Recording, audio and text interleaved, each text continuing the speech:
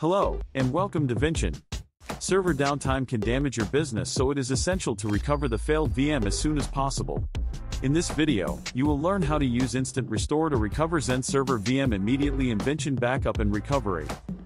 Here we have a backup of XenServer VM and we are going to use it to perform Instant Restore. Select Instant Restore and then select this backup.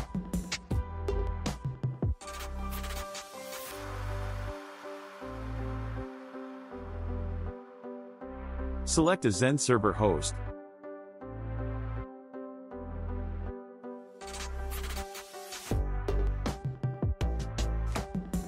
You can simply configure the XenServer VM here. It is recommended to enable power on this VM after restoring here.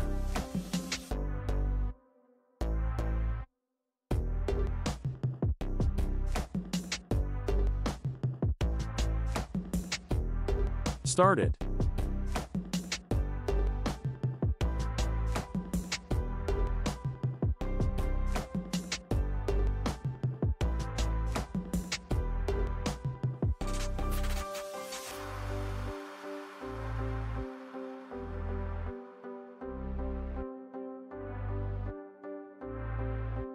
It's finished now.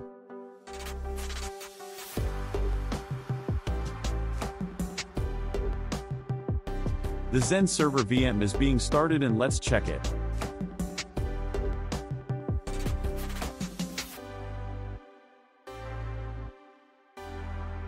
It will take a few seconds.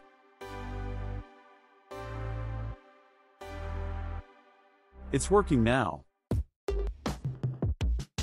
That's all for this video. Thank you for watching.